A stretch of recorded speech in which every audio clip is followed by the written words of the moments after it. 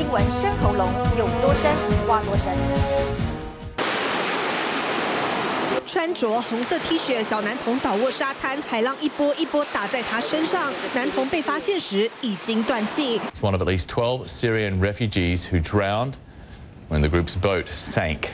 Several of the victims were children. 两艘小船原定从土耳其前往希腊科斯岛，途中意外沉船。叙利亚男童亚兰与母亲及五岁哥哥都不幸溺毙。Try so hard from as much as power he can to take them up from the water and, and screams, breathe, breathe. I don't want you to die.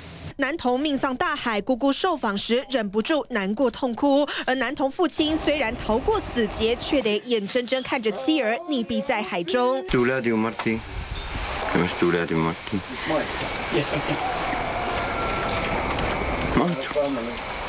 三岁男童之死，画面震撼全球。欧洲各大报头版建以大篇幅报道这起死亡悲剧。中东难民流亡悲歌的议题一下子升级，有网友替溺毙男童修图，加上翅膀，盼他上天堂当天使，远离痛苦，或是躺在温暖的床上安然进入梦乡。但亚兰遭遇的残酷困境，不过只是冰山一角。对怀抱梦想的难民来说，不逃可能会死，但逃出后也可能。移民梦碎。